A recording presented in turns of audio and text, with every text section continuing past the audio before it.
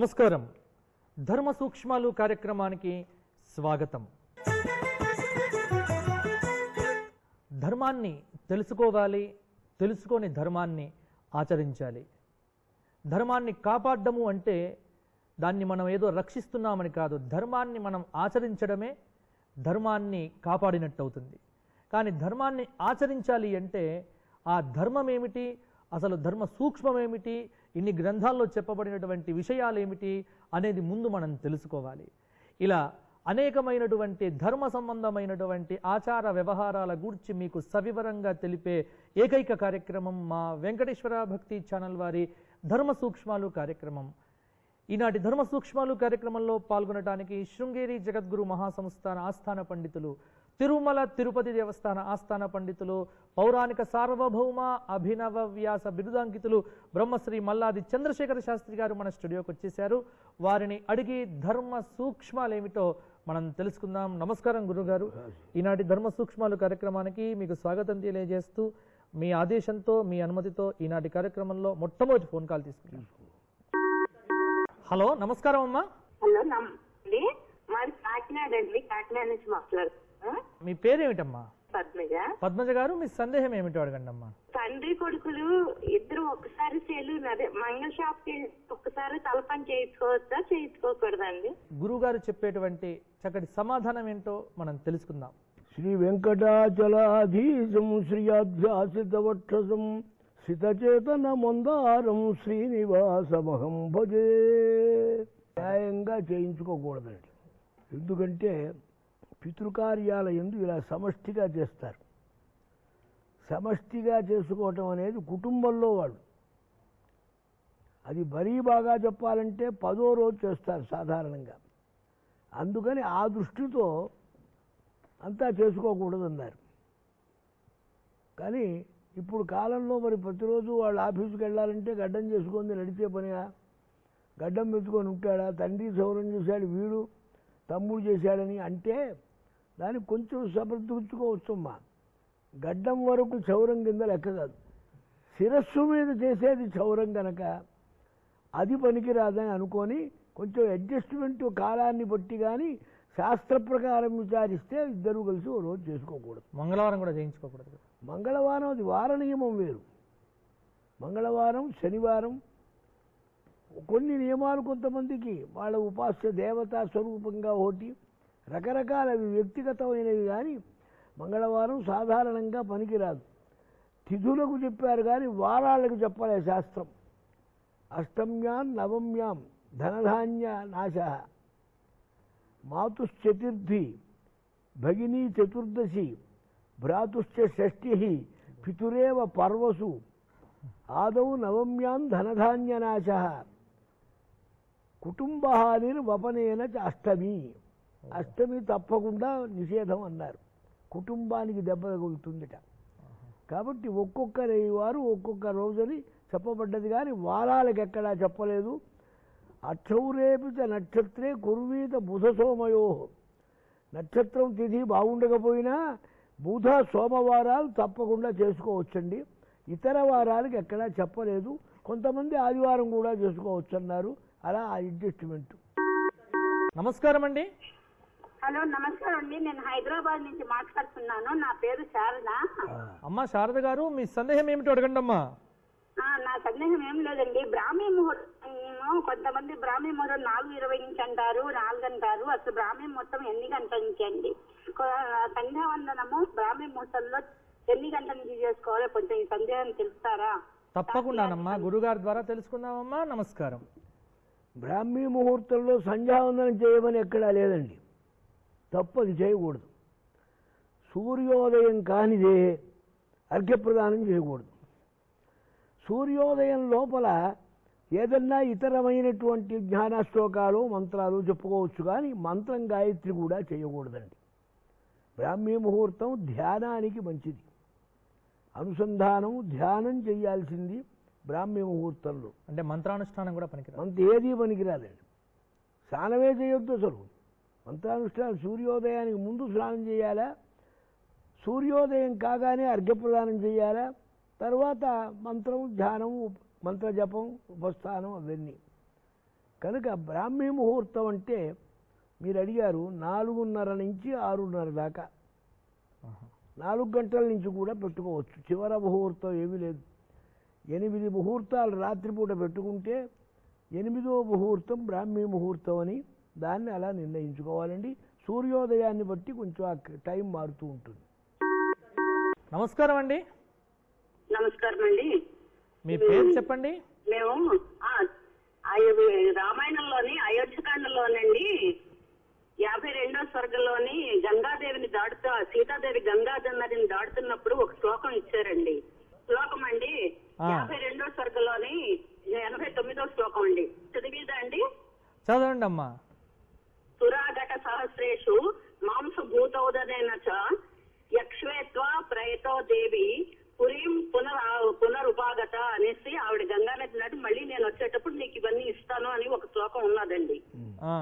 దాన్ని గోరఖ్పూర్ వాళ్ళు ఏం చేస్తారంటే వాళ్ళు కరెక్ట్ అయిన ఆన్సర్ బాగానే ఇచ్చారు. సుర అఘటన సహస్య సహస్రేషు మా అంశ భూత బోధన అని విశేషంగా ఇచ్చారండి. కానీ ఏంటా? పుల్లెల శ్రీధరామచంద్ర శాస్త్రి గారి దాంట్లోని దాన్నే ఆవిడ గంగా నదిని దాటుతున్నప్పుడు వెయ్యి కుండల సుర అంటే కళ్ళుని వాటిని ఇచ్చారనేసి రాశారండి ఆయన వెయ్యి కుండాల కళ్ళుని. కళ్ళు ఆ వెయ్యి కుండల కళ్ళుని మాంసరూపమైన ఆహారాన్ని సమర్పిస్తాను అని వ్యాఖ్యానించారండి ఆయన. సరేనమ్మా. ఏది కరెక్ట్ అనే మీది?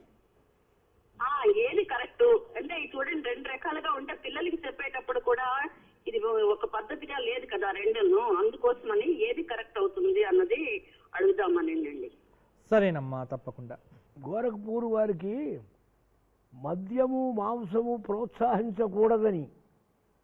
ఆ రెండిటి ఎందు కొంచెం వాళ్ళకి పట్టుదల ఉంటుందండి. ఆ సహజంగా వాళ్ళు అహింసావాదులు. అది కరెక్టే అదో రకం. రాముడు కూడా మాంసం తినలేదని మద్యపానం చేయలేదని చెప్పేవాళ్ళు ఉన్నారు కానీ తాగినట్టు తిన్నట్టు ఉన్నది. తప్పేం లేదు. క్షత్రియులు వాళ్ళ ధర్మం అది. అది ఇంకా ఎట్లాగంటే చెయ్యవలసిన దేవపితృ కార్యముల ఎందే వాడేవాళ్ళు ఇష్టం వచ్చినట్టు తాగటం కాదు. రోజు పడుకునేప్పుడు ఇంత గ్లాస్ పట్టుకొని ఎందుకంటే ఇప్పుడు రాముడు తాగాడంటే అందరు అది తాగుతారు తాగుతారు అది తప్పది. రాముడికి క్షత్రధర్మంగా వాళ్ళు అవసరమైనప్పుడు దేవ పితృ కార్య వినియోగం కోసం తాగేవాడు. వాళ్ళేమిటి? బ్రాహ్మణులు కూడా తాగేవాళ్ళే ఆ రోజుల్లో. అది యుగధర్మం కార్యధర్మం అవసరం. దాన్ని అసలు లేదని చెప్తారు వీళ్ళు గోరఖ్పూర్ వాళ్ళు అట్లా వాళ్ళ దృష్టి వాళ్ళ యొక్క అభినివేశం. కానీ పదార్థముగా రామాయణము యొక్క ఆంధ్రీకరణంగా జాగ్రత్తగా పదానికి ఉన్న అర్థం రాసింది పుల్లెల వారిదే. కరెక్ట్ అండి. అందులో సందేహం లేదు. నా పేరు చంద్రమౌళి విజయవాడ మాట్లాడుతున్నానండి. చెప్పండి చంద్రమౌళి గారు మీ సందేహం ఏమిటో అడగండి. మహాభారతంలో శాంతి పర్వంలో ఉమ్, భీష్ముడు ధర్మరాజుకు అనుస్మృతి గురించి వివరించి చెప్తారు? అనుస్మృతి. అనుస్మృతి. ఆ, అనుస్మృతి అంటే ఏమిటి? అది ఏ విధంగా పారాయణ చేయాలి దాని గురించి కొద్దిగా వివరాలన్నీ నాకు కావాలి. ఎవరు చెప్పారండి ధర్మరాజుకు? శాంతిపురంలో. భీష్ముడు శాంతి పర్వంలో శాంతి పర్వంలో సరేనండి ఇంకొకటి అండి శివ అపరాధ స్వామి సూత్రంలో పౌరోహిత్తులు బ్రాహ్మణిత్వము నియోగము మాతాత్యము మాఠాపత్యము. అద్భుత వచనం. సాక్షివాద పరాన్నం బ్రహ్మద్వేష ఖరజనరతి ప్రాణినాము నిర్దయత్వం మాభూదేవం అది అంటే ఆ జన్మలు వద్దు అని అంటున్నారు శంకరాచార్య వారు. ఎందుకు అది అటువంటి జన్మలు ఆ వృత్తులు వద్దు అని అన్- ఎందుకు అంటున్నారు కారణం కావాలని నాకు. సరేనండి తప్పకుండా. వీటన్నిటి ఎందు పాపం ఉంటుందనండి. ప్రత్యవాయం ఉంటుంది. అందుకనే ధర్మ అధికారం ధర్మ ఆదాయానికి ఆధిపత్యం చేసేప్పుడు కొంత జాగ్రత్తగా మెళుకుగా చేయాలి ఎవరు చేయకపోతే మఠాలెట్టా దేవాలయాలెట్ట అండి కనుక ఎవరూ చేయకూడదని కాదు జాగ్రత్తగా చేయమని దాన్ని చేసిన దానికి పరిహారం చేసుకోమని అటువంటివి నాకు అక్కర్లేదు బాబు అని శంకరాచార్యులు వారు ప్రత్యేకంగా కోరారు. దానికి అర్థం అది. అనుస్మృతి. అనుస్మృతి అంటూ వేరే అక్కడ శాంతి పర్వంలోనే ఏం చెప్పారో ఆ శ్లోకాలు చూసుకోండి. ఆ శ్లోకాలే పారాయణ చేసుకోవాలి. అంతేగాని అనుస్మృతి అంటూ వేరే స్మృతి అంటూ లేదండి. ఇదే ఇతర గ్రంథాల ఎందు ప్రశస్తమైంది కాదు. అది ఆ ఘట్టంలో ఆయన చెప్పిన దాన్నే చూసుకోండి. నమస్కారం అండి నమస్కారం అండి గుంటూరు నుంచి మాట్లాడుతున్నానండి. నా పేరు ఉమాదేవి. ఉమాదేవి గారు సంతోషం అమ్మా మీ సందేహం ఏమిటో అడగండి అమ్మా నమస్కారం గురువు గారు ఆ, నమస్కారం చెప్పమ్మా. ఏమండి నవగ్రహాల్లో శనిగ్రహము దాని పుట్టుగా దా- అధిదేవత ఎవరు? ఆ శనిగ్రహం ఎక్కడ నుంచి పుట్టింది? దాని పు- చరిత్ర ఏమన్నా ఆ, ప్రామాణికమైన పుస్తకం ఏమన్నా ఉంటుందా? సరేనమ్మా శని గురించి చాలా చక్కగా అడిగారు. మరి గురుగారి ద్వారా తెలుసుకుందాం. శని యొక్క పుట్టుక ఏమిటి అసలు శని యొక్క అధిదేవత ఏమిటి? శని యొక్క పరిహారం. సూర్యుడి యొక్క భార్య ఆ వేడిని భరించలేక ఛాయ అని ఒక రూపాన్ని తయారు చేసి ఆ సూర్యుడి దగ్గరికి పంపించింది. ఆ ఛాయ ఎందు కలిగిన సంతానమే శనిగ్రహం. ఛాయ కనుక ఛాయా సముద్భవ. ఆమె కోపం కోపిస్తుంది. ఆ కోపానికి పాత్రుడైతాడు శని. కానీ శని చాలా పవర్ఫుల్ చాలా శక్తి గలవాడైనాడు సూర్యుని యొక్క కుమారుడు యమధర్మరాజు సూర్యుడి కుమారుడే ఈయన సూర్యుడి కుమారుడే. ఇలా వర్ణాలలో మనకు పురాణాల్లో ఉన్నాయండి. స్కాంద పురాణం వగైరాలో చూడొచ్చు. నా పేరు వాసుదేవరావు సార్ శ్రీకాకుళం నుంచి. వాసుదేవరావు గారు మీ సందేహం ఏమిటో అడగండి. గురువు గారు పాత పద్మాలకు నమస్కారం అండి. నమస్కారం. చెప్పండి. అయ్యా భగవద్గీతలో ఆ, చెప్తున్నప్పుడు కృష్ణుడు భీష్మ ద్రోణాది కురువీరులను నేను ఇదివరకే సంహరించి ఇక మిగిలిన వారిని నీవు సంహరింపుము అని చెప్తాడు కదా అది ఎలా సాధ్యం అని నాకు అప్పుడప్పుడు అనిపిస్తూ ఉంటుంది సార్. గురుగారు చెప్పేటువంటి చక్కటి సమాధానం ఏంటో మనం తెలుసుకుందాం. అక్కడే కృష్ణుడు చెప్పిన శ్లోకం ఉంది ఆలోచించండి. కాలోస్మి లోకక్షయకృద్ఘోర నిమిత్త మాత్రం భవ సవ్యసాచిన్. రెండు మాటలు ఉన్నాయి. అసలు ప్రపంచంలో చంపేది చంపబడేది ఎవరు లేరురా? నేనే కాలపురుషుణ్ణి.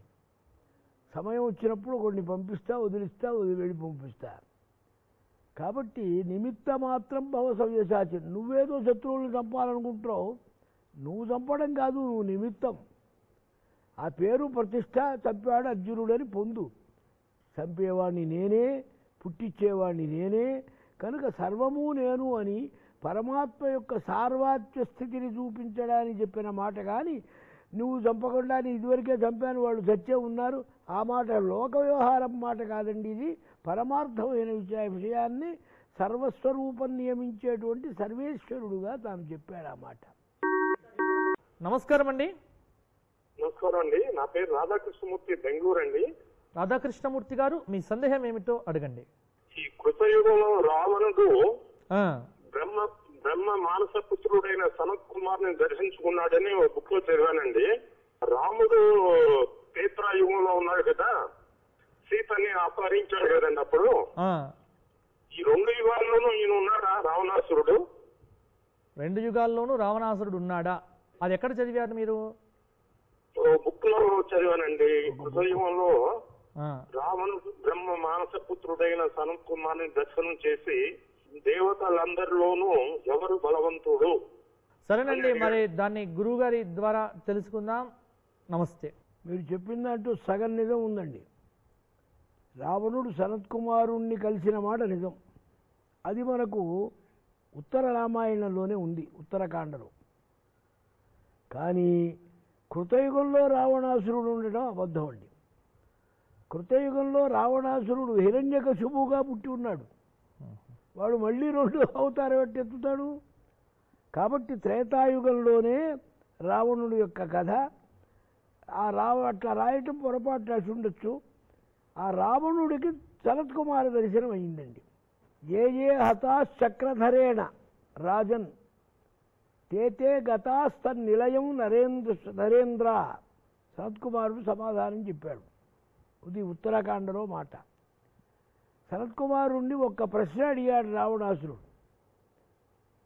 అయ్యా చాలామంది రాక్షసులంతా ఆ విష్ణుమూర్తి చేత సంహరింపబడ్డారు కదా ఆయన చేత చంపబడ్డ రాక్షసులు ఏ గతి పొందారు అని అడిగాడు. ఏ ఏ హతాహ చక్రధరేణ విష్ణుమూర్తి చేత ఏ ఏ రాక్షసులు సంహరింపబడ్డారో వారందరూ తన్నిలయం గతాహ వైకుంఠానికే చేరారా కాబట్టి ముక్తి అని అన్నారు అందుకని విష్ణుమూర్తి రాముడుగా వచ్చాడని తెలిసినా ఆయన కూడా శత్రుత్వంతోనే ఉండాలని ఒక రకంగా తెలుసుకొని రావణుడు అనుకున్నాడని ఒక భావం ఇది. ఇది రామాయణంలో మాట కృతయుగంలో రావణుడు లేడు. నమస్కారం అండి. నా పేరు రవికుమార్ అండి. షాద్నా నుంచి మాట్లాడుతున్నాను. రవికుమార్ గారు మీ సందేహం ఏమిటో అడగండి. గురువు గారికి నమస్కారం. చెప్పండి. మనం పితృదేవతలకు ప్రతి సంవత్సరం ఆబ్దికం పెడుతుంటాం కదండి. అయితే అది మనకు ఒకసారి ఇంటికాడ అనుకూల అనుకూలత లేనప్పుడు ఇక్కడ దగ్గరలోని నదీ తీరానికి పోయి ఆబ్దికం పెడుతుంటాము. అయితే ఆ నదీ తీరానికి పోయి ఆబ్దికం పెట్టిన తర్వాత అక్కడికి దగ్గరలోనే ఒక ఏదైనా ఒక క్షేత్రం ఉంటే ఆ క్షేత్రాన్ని అదే రోజు పోయి దర్శనం చేసుకోవడం కానీ లేదా ఆ రోజు ఆ ఊరికి పోయి ఒక రూమ్ తీసుకొని పడుకొని మరుసటి రోజు నదిలో స్నానం చేసి దర్శనం చేసుకొని తిరిగి మన ఇంటికి రావచ్చునా? లేకపోతే ముందుగానే క్షేత్రానికి పోయి దర్శనం చేసుకున్న తర్వాత ఇక్కడ నదీ తీరానికి వచ్చి ఇక్కడ ఆర్థికం నిర్వహించుకుని ఇంటికి రావచ్చా లేకపోతే దేనికి దానికి సపరేట్గా విడివిడిగా వెళ్ళాలా? తీర్థయాత్ర కానీ దేనికి కానీ?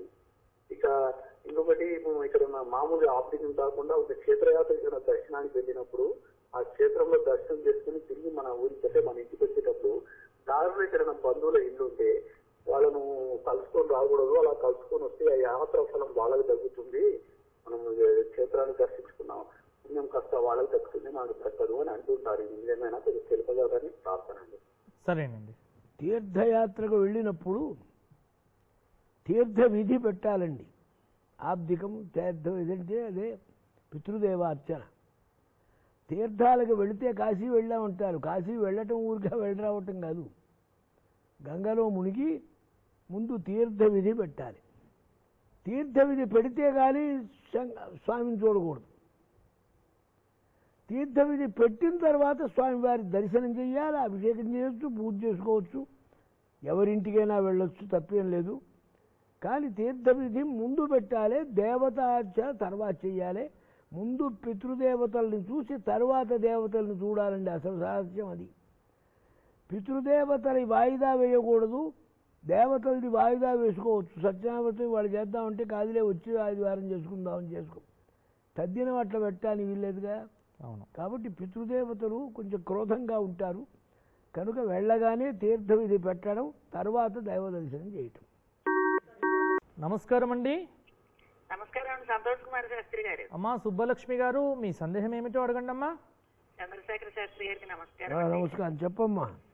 అది ఒక్క సందేహం అండి. మా వారు నేను రోజు దేవుడికి పూజ చేసుకున్నప్పుడు పంచపాత్ర పెట్టుకుంటామండి. కలశ పూజ చేసి దాంతో పూజ చేసుకుంటాం. అయితే నైవేద్యం పెట్టినప్పుడు మరి ఆచమానం చేసిన పంచపాత్రలో ఉదకంతో పెట్టచ్చా? లేకపోతే వేరే ఇంకో పాత్రలో నీరుతో నైవేద్యం పెట్టాలా అని ఒక సందేహం అండి. మంచిదమ్మా. ప్రతి కార్యక్రమానికి ముందు ఆచమనం చేయాలిగా. ఆచమనం చేసినప్పుడల్లా ఒక గ్లాసు మార్చాలంటే అది అయ్యే పనే అనవసరం. అది పూజాంగమే గనక అది నీళ్ళు తాగటం కాదు. ఆ పేరు చెప్పి గ్లాసు నీళ్ళు తాగితే తప్పది. మాసమాత్రం జలం పిబేత్తని ఆచమనం ఎప్పుడూ చేతిలో నీళ్ళు పోసుకుంటే మినపగింజ మునిగేంత వరకు పెట్టుకోవాలి మినపగింజ మునక్క మునిగిన తర్వాత నీళ్ళు ఉండకూడదు.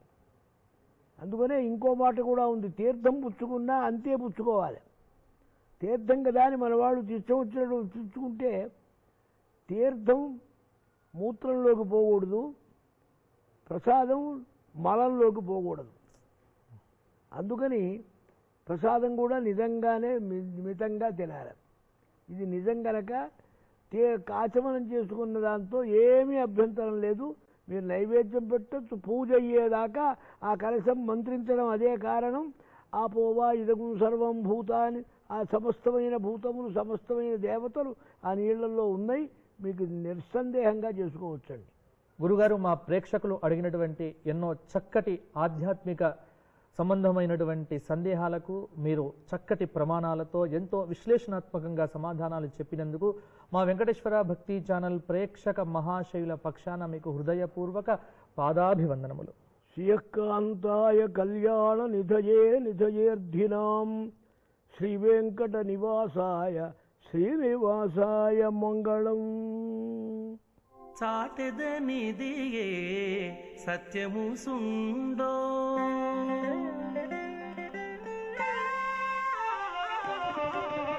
చాటెదనిదియే సత్యము సుండో చెటులేదితని సేవించినను. చాటెదనిదియే సత్యము సుందో చేటులేదితని సేవించినను.